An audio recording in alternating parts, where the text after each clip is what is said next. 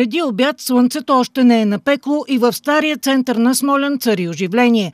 Фонтанът на площад Свобода обаче е празен и сух.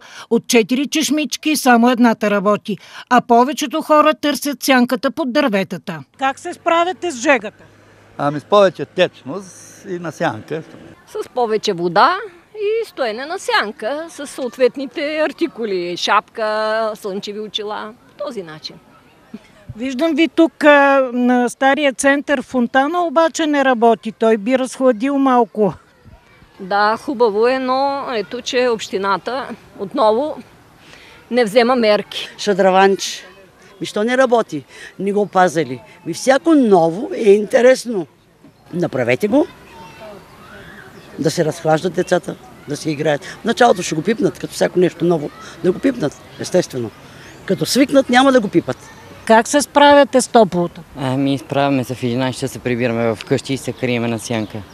Това е вариант. Друг вариант няма. И с басейнчето отвънка с малки да го разходим. Смолян е много по-хладничко, отколкото надолу. Да, и добре. И, се, и все пак е топло. Някакви препоръки? Ми да се носи шапка и да се стои под чадър. И това е друго на сянка и това е. трябва да запазим на сенка и да ни трошиме невести, защото не е хубаво, защото може да, да получиш удар. С официални препоръки излязоха и от Смоленската дирекция пожарна безопасност и защита на населението. Според тях трябва да се ограничат дейностите на открито в най-горещите часове на деня. При разходка да се използват сенчести маршрути, да се носят шапки и светли дрехи и да се пият повече течности.